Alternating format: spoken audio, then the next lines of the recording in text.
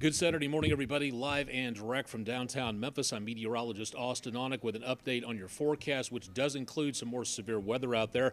Rest of the day, it's going to be very much on the mild side. Temperatures pushing the lower to mid 70s for highs, but also seeing those chances of showers and thunderstorms developing any point in time throughout the rest of the morning into this afternoon, and finally leaving the Mid-South into later on tonight. Now, by 7 o'clock this morning, the Storm Prediction Center has raised the forecast level of enhanced risk for severe weather to include basically all of the News Channel 3 viewing area, including the possibility of damaging winds, large hail, and isolated strong tornadoes.